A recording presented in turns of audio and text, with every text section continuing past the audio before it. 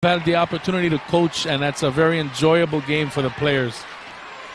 So Kahuku on first and 10 to give us the pull it down to the outside. Gets to the outside. Down the sideline he goes. It's a foot race. No one. He no is catch. gone. Mulivai Pula.